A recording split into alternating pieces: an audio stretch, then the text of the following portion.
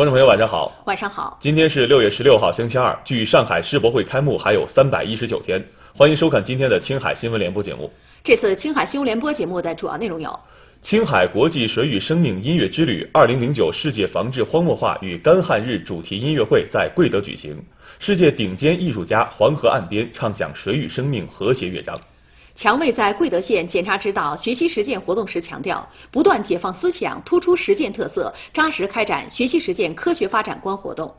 教育部与青海省政府签署关于大力支持青海省教育事业改革发展的合作协议。省政府召开常务会议，分析一至五月份全省工业经济形势，审议我省重点产业调整和振兴实施意见。下面请看详细内容。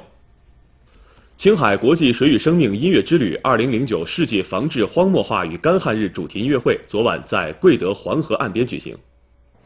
省委书记、省人大常委会主任强卫、省委常委、省委秘书长沈和、省人大常委会副主任马福海、副省长吉迪马加、省政协副主席鲍义志出席音乐会。吉迪马加致辞。这场由青海省人民政府文化部对外文化联络局、中央电视台、北京电视台和中国国家交响乐团主办的“水与生命”主题音乐会，以中国国家交响乐团为主要演出单位，著名指挥家陈谢阳担任指挥。音乐会在饱含对母亲河的热爱和富有爱国激情的交响合唱作品《我的祖国》中拉开序幕。来自恒河、伏尔加河、莱茵河、多瑙河、密西西比河、亚马逊河等七大世界著名河流流域的顶尖艺术家参加了演出。西班牙著名男高音何塞·卡雷拉斯，印度歌唱家齐希拉夫人，德国著名男中音歌唱家拉斯·格林沃尔特，美国著名女中音歌唱家克里斯塔里弗，法国歌剧演员让·弗朗西斯·蒙沃辛，分别演唱了各自具有代表性的以河流为主题的歌曲。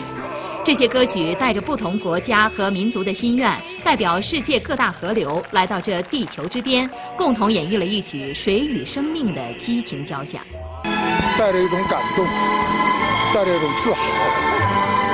在我们家园旁边的黄河的岸边，能够现场聆听这么高水平的音乐会，我觉得我没有白做一个青一个青海。呃。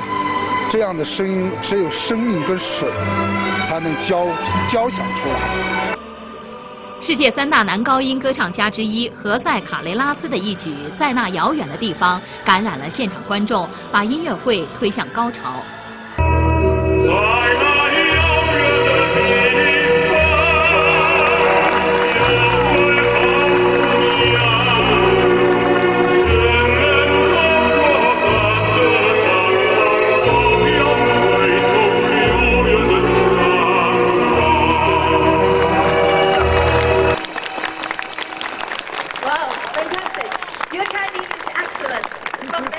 整台音乐会突出了水与生命交融、人与自然和谐的思想，彰显了尊重文明、热爱生命、敬畏自然的理念。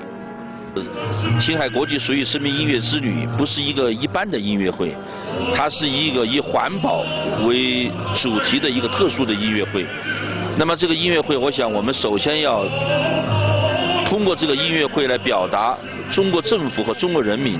特别是我们青海啊国族人民。我们保护生态、保护环境的这种信心和决心。那么，作为一个国际性的一个音乐品牌，我想，随着我们不断的把它一件一件的举办下去，那么，我想这个特殊的这么一个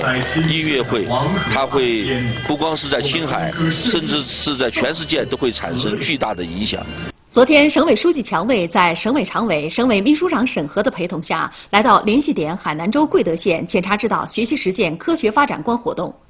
强卫强调，要进一步加强学习，全面深刻把握科学发展观的精神实质和科学内涵，不断解放思想，突出实践特色，扎实开展好学习实践活动。在认真听取了贵德县深入学习实践科学发展观活动情况汇报后，强卫充分肯定了贵德县开展学习实践活动所取得的成果。他说，贵德县通过第一阶段的学习和调研，深化了对科学发展观的理解，有力推动了党员干部解放思想、转变观念。要在广泛征求意见的基础上，认真修改好分析检查报告，精心组织好民主生活会，进一步形成科学发展的广泛共识，进一步解决存在。的突出问题，在下一步整改工作中取得实效，让人民群众切实感受到干部思想观念、工作作风和经济社会发展带来的实实在在的变化。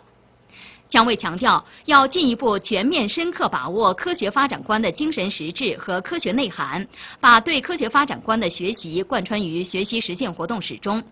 科学发展观的第一要义是发展，核心是以人为本，基本要求是全面协调可持续，根本方法是统筹兼顾。首先，发展还是第一位的。对青海来讲，加快发展尤为重要。要通过学习实践活动，不断提高各级党委政府领导科学发展的能力，进一步认清发展的优势潜力，找准发展的空间，把潜在的优势转化为现实的发展优势。